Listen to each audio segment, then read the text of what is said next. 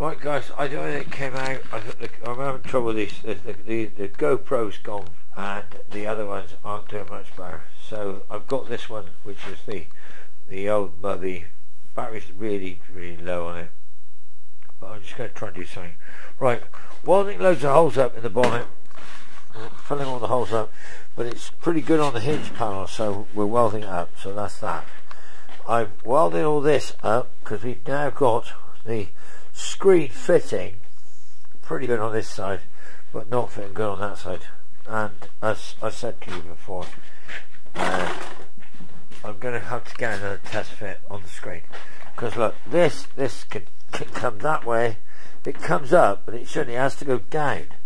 And the trouble is if it goes down it, it fouls in here. And we have a measurement there down by that which is I know 11 mil and I can't go down 11 mil because I ain't got 11 mil to go down and I have got nowhere to go with that door so I've got a problem.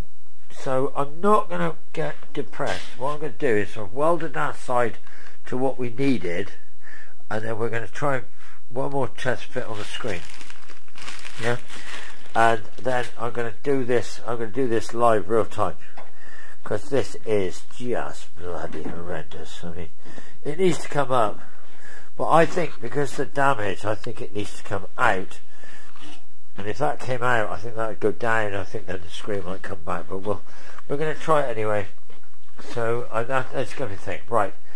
The only other thing that's happened today before the battery goes dead, because I haven't really been showing you much, uh, is yeah, I've welded loads of holes up in the bonnet. Really, really, I'm like, I'm like the, I'm like, I'm chasing. It's like welding lace, to be honest. But anyway. But guess what? Oil cooler pipes. Look, down there. See them? See them? oil cooler, oil cooler, oil cooler. It can't go there. It's got to go onto the cross member here. So I'm going to switch this pipe to here and that pipe to there. So I, am going to do a bit of alteration on that because they need to go back under the distributor. I got one under the engine mount and one over the top, but they do need to be altered.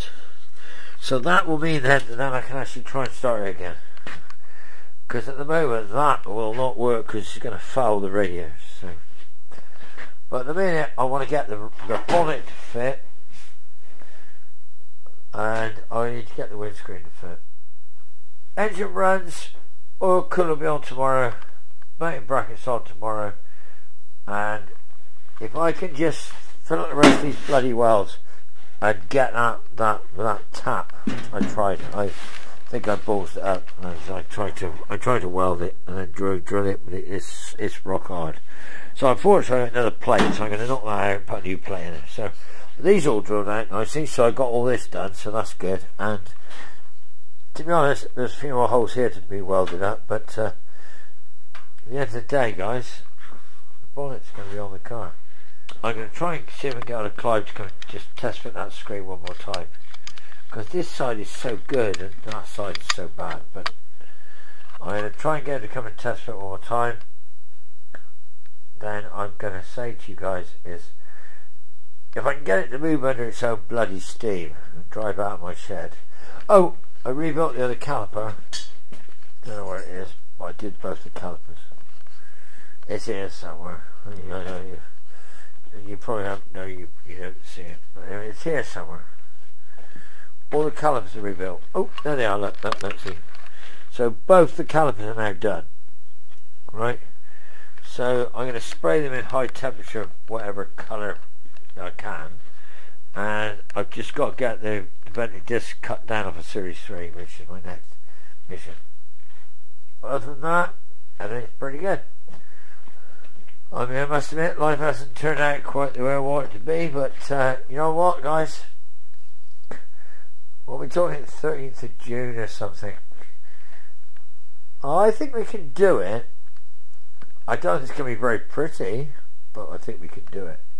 So, if anybody wants to volunteer to come and do some filler in and body work, who lives locally, let's, let's, let's hear them. You know what? It's going to be there. Talk to you soon, guys like and subscribe, follow me about, and if you do get this video, then just remember, it could be worse. it could be you trying to do this. And you would be throwing money at it like a mum with no arms. So, good luck, babes. Talk to you soon. Bye.